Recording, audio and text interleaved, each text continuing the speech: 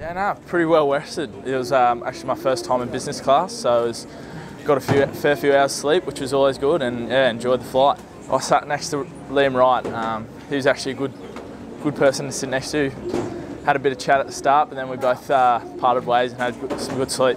Well, the boys have been saying the ramen's really good here, so and I've never had a ramen, so that's probably the first port of call for me to try ramen.